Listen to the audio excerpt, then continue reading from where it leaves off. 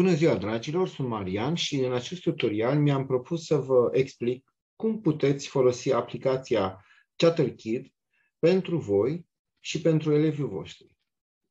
Primul pas în folosirea aplicației, evident, este că va trebui să o instalați de undeva. În cazul acesta, este suficient să intrați pe magazinul celor de la Google, iar de acolo să descărcați aplicația în mod free pentru Uh, dispozitive mobile cu sistem de operare Android. Ce face aplicația? Păi, aplicația oferă niște instrumente foarte atractive pentru copii, dar o să vedeți că și pentru voi, prin care puteți să împrumutați vocea voastră și mesaje înregistrate cu vocea voastră unor fotografii realizate de voi cu telefonul sau tableta, unor personaje descărcate de pe internet și uh, luate din, rețe- din uh, galeria telefonului sau oricăror altor imagini pe care le aveți în galerie. Pasul următor este să accesați aplicația ChatterKid.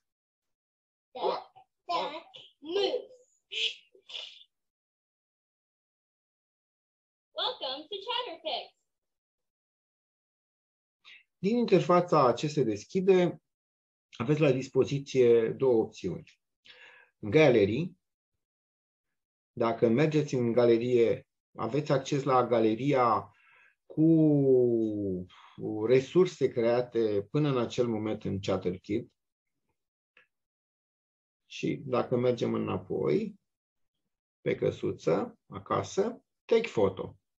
De la Take Photo aveți posibilitatea să realizați o fotografie în timp real, în timp ce lucrați, fie cu camera din față, fie cu camera din spate. Vedeți că aveți alături camera aceea uh, cu un cerc în jurul ei pentru a trece pe camera din spatele telefonului. Sau, următoarea opțiune este să accesați galeria.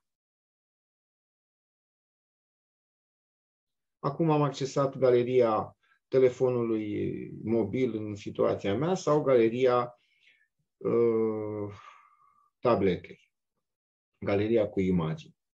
Din galerie am să aleg o imagine, o să aleg acest băiețaș. Bun, am pus imaginea căreia eu doresc să împrumut uh, o coloană sonoră cu vocea mea. Uh, vedeți că dacă imaginea nu corespunde cu ceea ce doriți voi, aveți posibilitatea să vă întoarceți iar la galerie din uh, butonul din partea stângă a butonului de realizare a unei fotografii sau, dacă sunteți mulțumiți de imagine, folosiți butonul Next care clipește în partea de sus. În momentul următor va trebui să trageți o linie pe zona care doriți să se miște în momentul în care personajul sau obiectul sau uh, ființa de acolo uh, vorbește, folosind vocea voastră. Eu am să trag o linie în dreptul gurii. Vedeți când puneți deget, uh, degetul acolo că deja uh, se face o lupă pentru a uh, trage linia mai fin. I-am dat drumul iar pasul următor este să înregistrez. Coloana sonoră înregistrată nu poate să aibă mai mult de 30 de minute. 30 eh, de secunde, scuzați. O să folosesc microfonul. Record in 3, 2, 1, go! Dragii mei, eh, eu sunt eh, Joe și vocea pe care o folosesc eu este împrumutată de la creatorul acestui mic uh, uh, clip și anume de la Marian. Atenție, coloana sonoră nu poate să aibă mai mult de 30 de secunde. Am oprit, fac o probă. Dragii mei, uh, eu sunt uh, Joe și vocea pe care o folosesc eu... Dacă sunteți mulțumiți de, de ceea ce ați mic uh, creat, treceți la pasul următor. Next. La pasul următor aveți la dispoziție câteva instrumente pe care le puteți folosi. În primul rând, filtre. Eu folosesc câteva filtre de aici. Depinde ce vă doriți voi. Am să las imaginea originală. Pasul următor, puteți să adăugați sticăre. Am să pun o flacără undeva aici, dar aveți mai multe sticăre pe care le puteți folosi.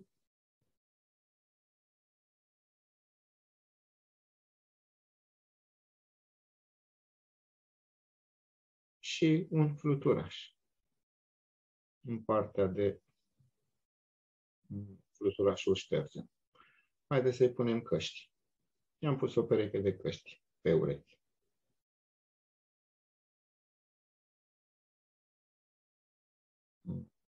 Prea se potrivesc ele, le lăsăm așa. Bun. Frame. Să-i punem un cadru. Noi lăsăm acest cadru sau acest cadru sau acest cadru. Depinde ce vă doriți voi. Am să las pe acesta cu steluțe, acesta cu baloane. Următorul, text. Să adăugăm un text.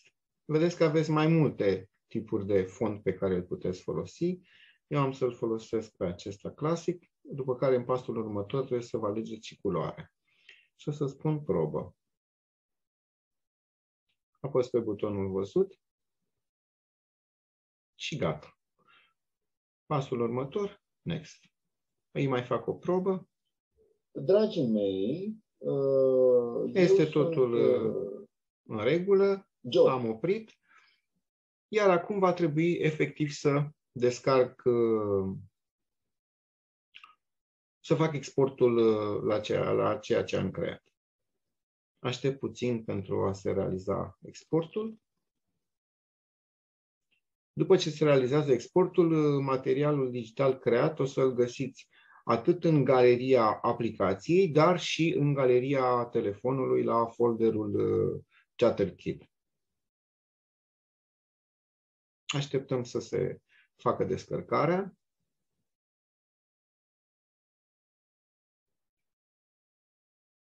Durează puțin. Export complet. Apăs încă o dată pe bifă și merg la galerie. Și vedeți că avem aici în galerie ceea ce am creat. Dacă o să ieșim din, uh, ieșim din aplicație și o să mergem în galeria telefonului, la ChatterKit, folderul ChatterKit, aveți ceea ce am creat.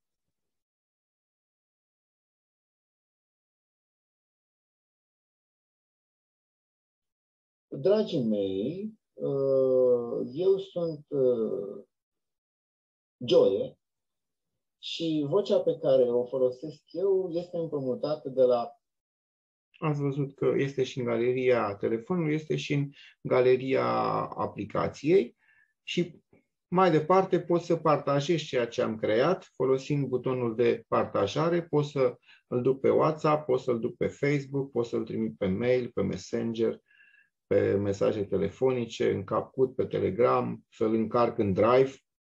Am posibilitatea, uitați, să-l încarc în Drive. El salvează cu un titlu, un nume implicit al fișierului, puteți să-i schimbați numele, în ce cont doriți să-l duceți, alegeți contul și după aceea dați salvați. Eu am să renunț la salvare.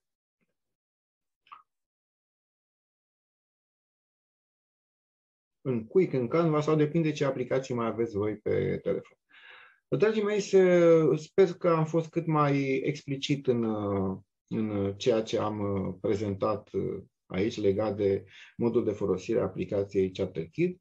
Vă doresc mult succes în realizarea unor astfel de resurse, atât vouă cât și copiilor voștri. Vă salută cu drag Maria.